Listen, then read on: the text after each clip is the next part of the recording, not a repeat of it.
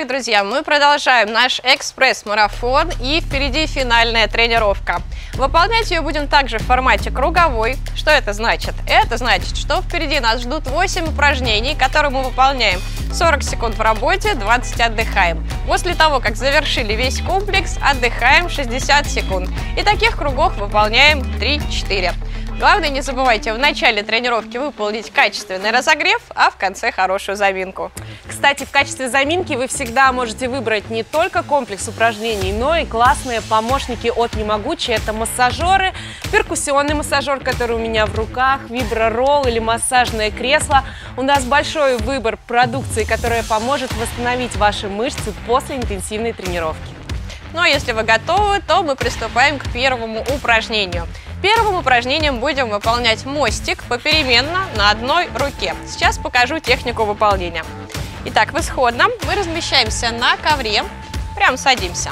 Ноги перед собой, пятки чуть шире таза, грудная клетка раскрыта, одна рука за спиной, другую выводим перед собой. На счет раз рука здесь, на счет два выводим ее наверх и отрываем таз. На счет 3 возвращаемся в исходное. На счет 4 отпускаем руку и отпускаем таз. Затем с другой. Раз, два, три, четыре. Вот такое классное упражнение. Все понятно? Все понятно. Готовы. Три, два, один. Поехали. Раз, два, три, четыре. Другой. Раз, два, три, 4. Кому легко, можно не отпускать таз, оставлять его вот так на весу. Проверяйте, подбирайте. Кстати, я всегда на тренировке использую фитнес-браслет для того, чтобы отслеживать свое самочувствие. Так как я не профессиональный тренер, в отличие от Саши, мне это очень помогает для того, чтобы регулировать интенсивность, отслеживать пульс. Это очень удобно.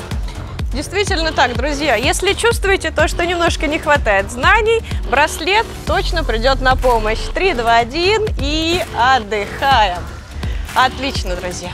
Не забывайте попить воды.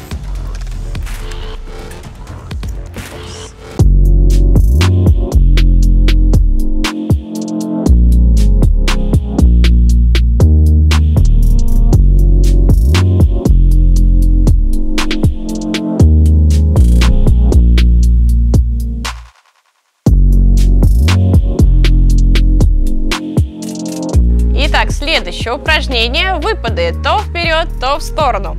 Техника выполнения такая. В исходном два плеча, два бедра в ровном прямоугольнике, стопа на ширине таза. Смягчаем колени, чуть отводим таз назад, чтобы в корпусе получилась диагональ.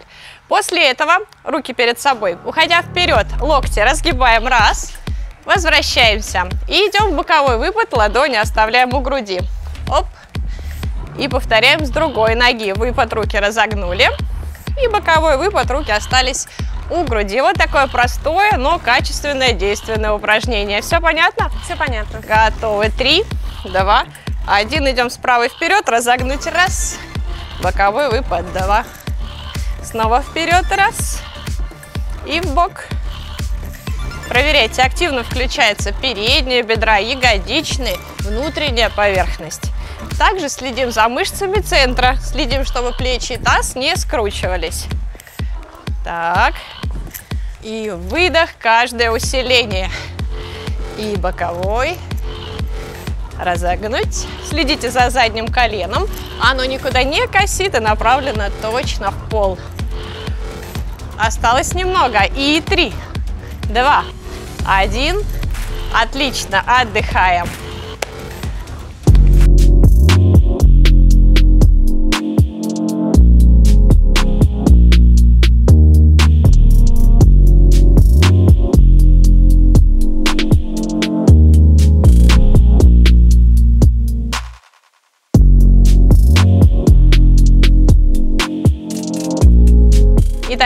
Следующее упражнение. Для него нам снова пригодятся фитнес-резинки.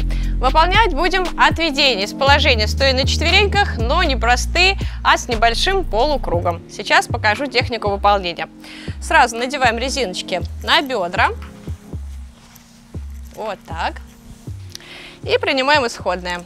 В исходном два плеча, два бедра снова в ровном прямоугольнике. Центр супер напряжен, чтобы в движении не подключалась поясница. Выходим на запястье, лопатки собраны, грудная клетка раскрыта. Отводим ногу назад, отрываем над полом и выполняем небольшие круговые движения. То в одну сторону, то в другую. И так работаем все 40 секунд. Все понятно?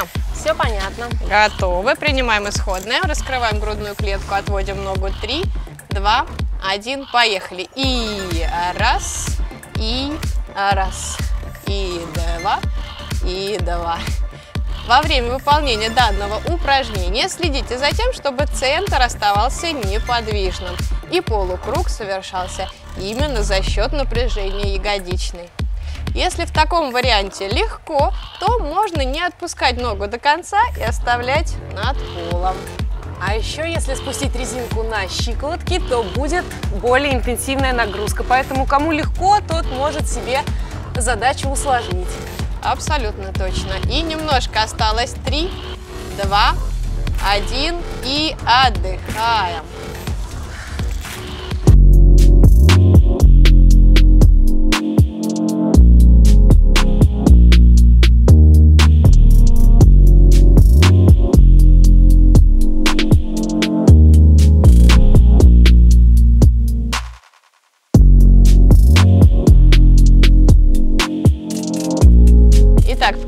Следующего упражнения мы повторим предыдущее, но выполним его с другой ноги.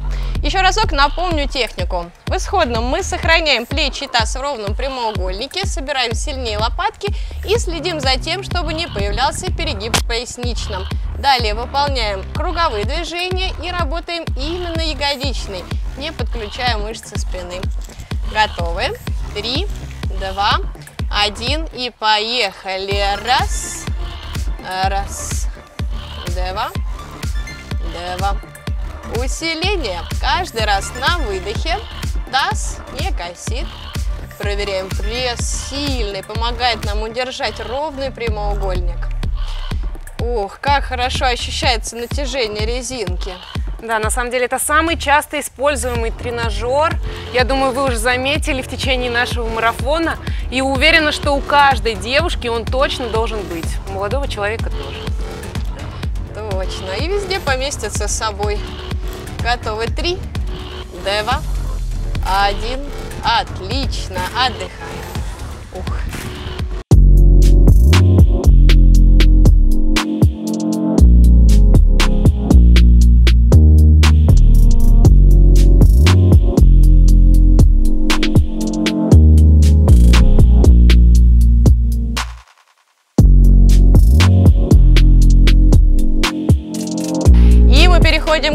Следующему упражнению. Выполним переходы с ноги на ногу в приседе. Дополнительное оборудование – виброгантель. У кого нет виброгантели, можно использовать или обычный, или бутылку с водой, либо же выполнить без дополнительного оборудования. Итак, показываю технику. Сразу возьму гантельку.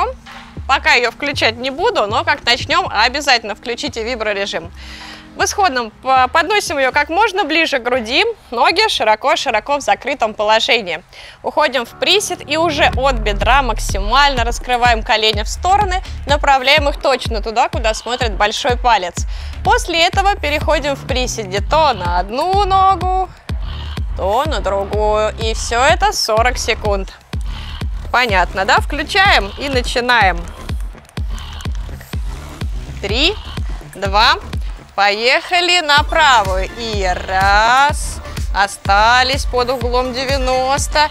Если чувствуем, что колени косят, то можно ноги развести чуть шире и максимально от бедра направлять колено. От бедра во время перехода. Ух, классный эффект, да? Если включить другой режим, друзья, будет еще тяжелее. Да, виброгантель это вообще уникальный тренажер, который способен задействовать не только мышцы, которые мы прорабатываем в настоящий момент, но и все мелкие группы мышц. Точно. Наши стабилизаторы тоже довольны. Была бы обычная гантель, мы бы работали только над внешним корсетом. А так еще и наши стабилизаторы в работе. И три, два, один. Отлично, отдыхаем, друзья. Не забывайте попить воду. Кстати, да. Опа.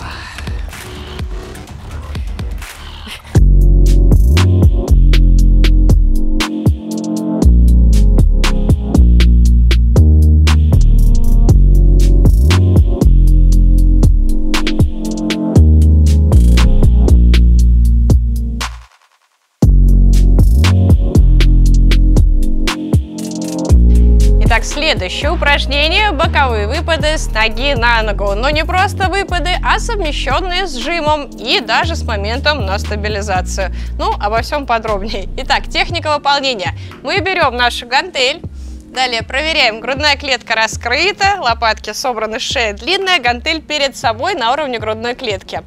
Далее мы выполняем боковой выпад раз, возвращаемся стопой и делаем жим, оставаясь в статике на одной ноге. Если данное положение дается сложно, тогда можно ногу не поднимать. Затем боковой выпад в другую сторону. Раз, возвращаемся, делаем жим, два. Вот такое упражнение. Готовы? Готовы. Три, два, один. Идем вправо. Выпад. Раз. И жим. Боковой выпад. И жим. Следим за центром. Два плеча, два бедра остались в прямоугольнике. Грудная клетка раскрыта, пупок подтянут. Следим за макушкой и стремимся и как можно выше в потолок. Кому тяжело делать с гантелькой, вы можете делать это упражнение и собственным весом, либо можете использовать виброгантели, которые мы использовали в прошлом упражнении, и задействовать мышцы-стабилизаторы. Это точно. Так что данное упражнение, в зависимости от дополнительного оборудования, может прокачать как основной корсет, так и глубинные мышцы центра. И мы закончили. Отдыхаем, друзья.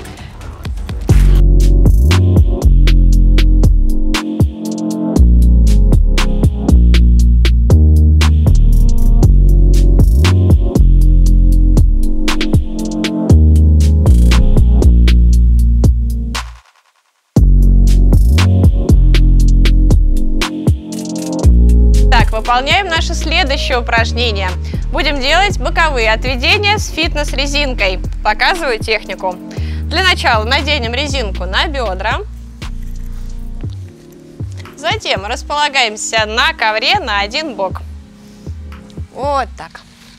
Одну ногу подгибаем под себя, другую вытягиваем ровно в бок. Далее, кому неудобно находиться на запястьях, переходим на предплечье. Вторую руку можно перенести на талию, можно поставить перед собой. Далее на выдохе до протяжения 40 секунд мы медленно ягодичной мышцей отрываем ногу, затем возвращаем обратно. Если легко, оставляем над полом. Если сложновато, можно положить пятку и в эту секунду немножко передохнуть. Вот такое упражнение. Угу. Готово? Готово. И три, два, один. Поехали. Наверх. Выдох. Вдох. И выдох. Вдох. Стараемся сохранить центр ровным. Колено тоже ровное. И в движении только тазобедренный. Подтягиваем больше пупок, чтобы стабилизироваться. И растягиваем ленту. Чувствуем ее сопротивление. Красная у нас самая легкая, серая чуть сильнее. Вы посмотрите, да, этот герой работает серой. Ну, а черная это уже для профи. Немножко нам осталось. Следим. И три, два, один. Отдыхаем.